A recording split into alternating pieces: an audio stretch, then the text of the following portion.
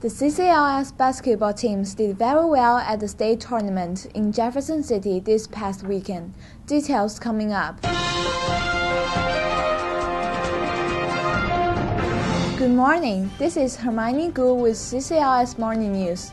Last weekend, the A1 boys and girls basketball teams competed at the LSAM state basketball tournament. The boys entered the tournament as the number one seed and had a bye the first round. The boys team won the first game handily over St. John Ellisville with a score of 38 to 22. They went on to face Zion in the semifinals. This was a closer game, but CCLS put ahead to a 47 to 41 victory.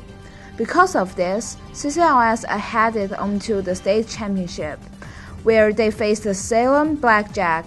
CCLS started with an early lead, up 16 to 2. However, Blackjack fought hard and came back, cutting the score to only two points. CCLS never lost focus, and when time ran out, the final score was 44 to 41, and CCLS won the state championship. CCLS sports reporter Olivia Williams caught up with 8th grader Adam Southell to talk about its basketball experience. Thanks, Hermione. I'm interviewing Adam Saucell, Adam, how did it feel to go to state for the last time?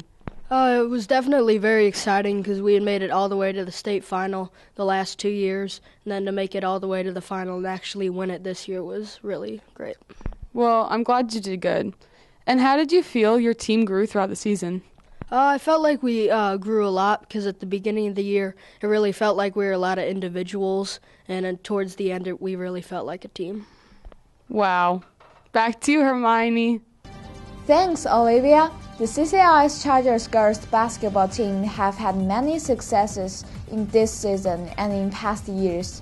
There were only three returning players, so the state experience was completely new to almost the entire team.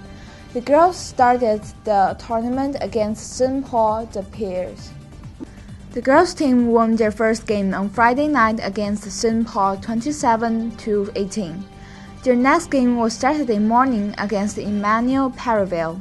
Ali Pfister had a great game, scoring 14 in the first half alone and led the Chargers to a 30 23 victory. In the semifinals, the girls played a hard game against Immanuel Wentzville and eventually lost 27 36. This put them into a third place game against Green Park. Play was tight with numerous scoring changes until the Chargers came out on top with a score of 34 to 21. Congratulations on such a high placing finish in state. Emily Allen caught up with 8th grader Veronica Reisner to talk about her CCLS basketball experience. I'm here with Veronica Reisner. Veronica, what are you most proud of this year? Um, I'm really proud of our team going to Chicago and getting first because last year we got second and we beat the team that we lost to last year, so that was pretty great. Those are some great accomplishments. How does this year's state compare to last year's competition? Um, I think the competition's mainly like the same because a lot of teams lost their eighth graders, but they got back some pretty good seventh graders, which are now eighth graders, so it was about the same.